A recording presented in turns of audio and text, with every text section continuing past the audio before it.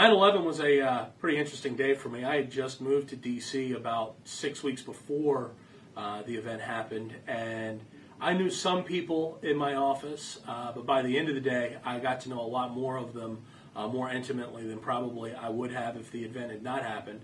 Uh, like most people, I have some pretty clear images of where I was when the first plane hit. I was driving to work, listening to the radio, and uh, it was a, a syndicated show out of New York and they made reference to it, and then moved back uh, to another interview because, like everybody else, I didn't really know what was going on.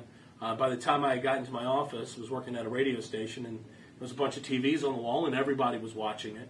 Uh, we saw the second plane hit, uh, and we knew something was going on. Uh, probably my biggest memory of the day uh, was sitting there watching it with these people who, you know, had lived in D.C. for a long time and had family members there, and they were showing the images of the smoke coming from the two World Trade Center buildings.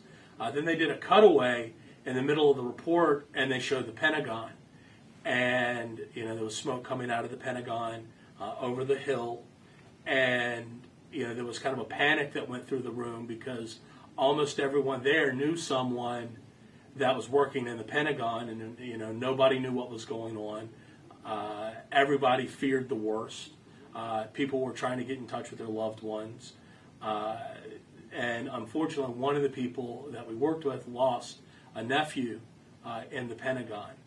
Um, the other image that will probably live with me as long as I can remember is that evening, uh, driving home was probably 9 o'clock at night. I was driving up uh, uh, a highway kind of similar to 280 here in Birmingham, and there was a stretch of about four miles where it was lined with American flags, and I just had this very surreal moment where uh, you know I felt very patriotic, very American, but I also felt kind of sad that it took an event like 9/11 for these people and these business owners to feel compelled to display these American flags, and I just thought, how cool would it be if this street had these American flags all the time?